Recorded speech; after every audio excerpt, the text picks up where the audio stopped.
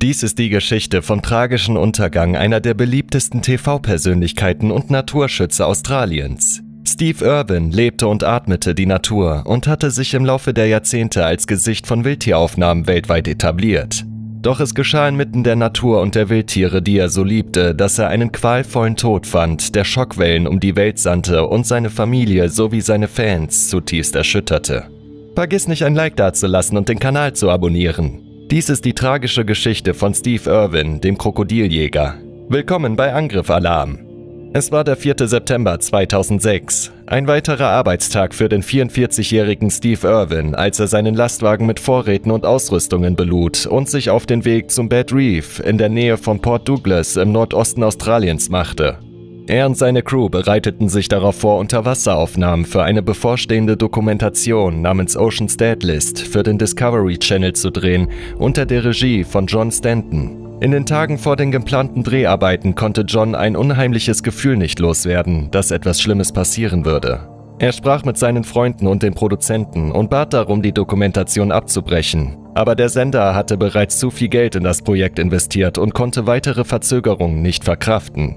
Dennoch hatte John Stanton immer noch ein unbehagliches Gefühl, dass etwas schiefgehen würde. Er verfasste ein Statement und begab sich widerwillig mit Steve Irwin und seinem Kameramann Justin Lyons zum Riff. Am Morgen des 4. September, nachdem sie die kleine Stadt in der Nähe von Port Douglas erreicht hatten, stiegen sie aus Steve Irwins 75 Fuß langes Forschungsschiff namens Croc One und segelten zum Barrier Reef in der Nähe des Great Barrier Reef an der Ostküste Australiens. Das Gebiet beherbergte verschiedene Arten von Meereslebewesen, darunter Meeresschildkröten, Delfine und Wale. Aber die Crew wollte einen Hai begegnen, um Aufnahmen für diese Episode zu machen, und so zogen sie ihre Anzüge an und setzten ihre Schnorchel auf, um ins Wasser zu tauchen. Das Meer war trüber als üblich und Steve und sein Kameramann Justin konnten keinen sicheren Ort finden, um nach einem wandernden Hai zu suchen. Sie entschieden, dass es am besten sei, die Dreharbeiten für den Tag abzubrechen, da es nicht der richtige Zeitpunkt war. Doch bevor sie gingen, entdeckte Steve Irwin etwas, das seine Neugier weckte. Es war kein Hai, sondern ein wunderschöner Stingray, Stechrochen. Diese Meeresbewohner konnten bis zu 5 Meter oder 16 Fuß lang werden, einschließlich eines langen, durchdringenden Schwanzes, den sie gut kontrollieren und behend einsetzen konnten. Dieser Schwanz ist ihre Hauptwaffe im Unterwasserökosystem. Doch Steve Irwin war nicht beunruhigt von dem Tier. Er hatte sein ganzes Leben lang mit solchen Tieren zu tun und wusste, dass Stechrochen normalerweise keine Menschen angreifen, es sei denn, sie werden provoziert oder versehentlich darauf getreten. Steve schwamm näher an das Tier heran, bis er direkt unter ihm war. Er dachte, dies sei der perfekte Winkel, um einige Aufnahmen für seine Tochter Bindi zu machen, für ihre kommende Wildtier-Kindersendung namens Bindi the Jungle Girl. Er signalisierte seinen Kameramann, zu ihm herunterzuschwimmen, um das Tier zu filmen. Es war ein friedlicher Anblick vor dem farbenfrohen Meeresgrund. Stechrochen wurden selten in solch enger Nähe beobachtet, da sie normalerweise beim Zusammentreffen mit Menschen davonschwimmen oder sich im Sand vergraben. Als Justin Lyons näher an Steve Irwin heranschwamm, waren sie selig ahnungslos, was als nächstes passieren würde. Steve Irwin war nur noch wenige Fuß über den Stechrochen und versuchte den besten Winkel für die Aufnahme zu finden. Doch als er sich näher heranwagte, schnellte der Stechrochen plötzlich seinen langen, scharfen Schwanz nach oben und durchstieß Steves Brust.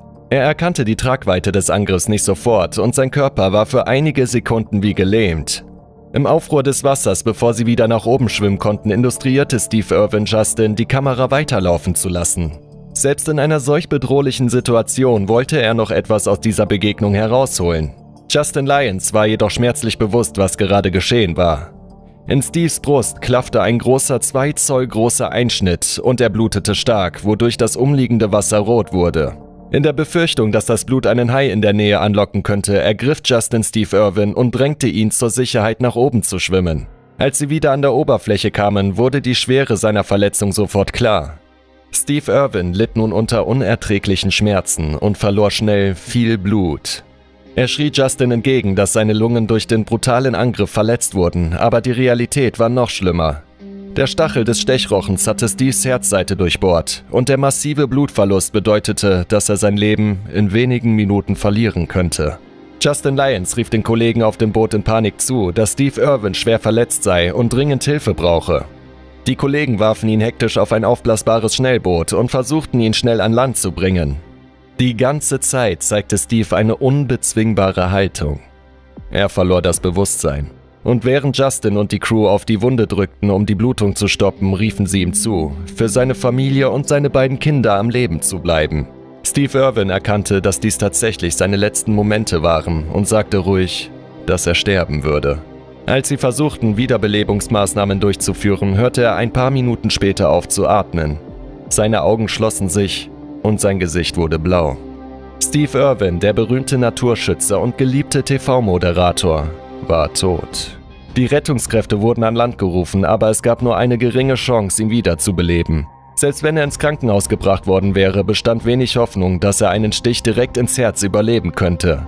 Der scharfe Schwanz des Stechrochens hatte sich durch Steves Brust geschnitten und er starb unter den Tieren und der Natur, die er sein ganzes Leben lang geliebt und geschätzt hatte. Die gesamte Tortur vom Stich des Stechrochens bis zu den letzten Momenten, in denen die Rettungskräfte versuchten, Steve Irwin zu reanimieren, wurden von Justin Lyons Kamera aufgezeichnet. Doch aus Respekt vor Steves Kampfgeist und um seine Familie zu schonen, löschte Justin die endgültige Kopie des Videos nach einer kurzen polizeilichen Untersuchung. Die Aufnahme wurde nie gesehen oder veröffentlicht, aber das Bild von Steves schrecklichen und schmerzhaften letzten Momenten bleibt für immer im Gedächtnis der Crew an Bord und der Kollegen, die ihn liebten und schätzten. Seine Frau und Kinder waren auf einem Ausflug in Tasmanien, als sie von Steve Irwins Tod erfuhren, und sie waren am Boden zerstört und untröstlich über den tragischen Verlust ihres Ehemanns und Vaters. Seine Frau Terry und seine Kinder Bindi und Rob reisten sofort zum Australia Zoo, den Steve Irwin betrieben hatte, und wurden dort von Tausenden und verehrenden Fans empfangen und getröstet. Steve Irwin hatte zuvor gesagt, dass er sein letztes Lebensziel als erfüllt betrachten würde, wenn er das Erbe des Naturschutzes an seine Kinder weitergeben könnte, im Einklang mit seinem Wunsch. Windy und Rob wurden engagierte Tierpfleger und Naturschützer und arbeiteten daran, Steve Irwins Erbe in ehrenvollen Gedanken an sein tragisches und unzeitiges Ende weiterzuführen.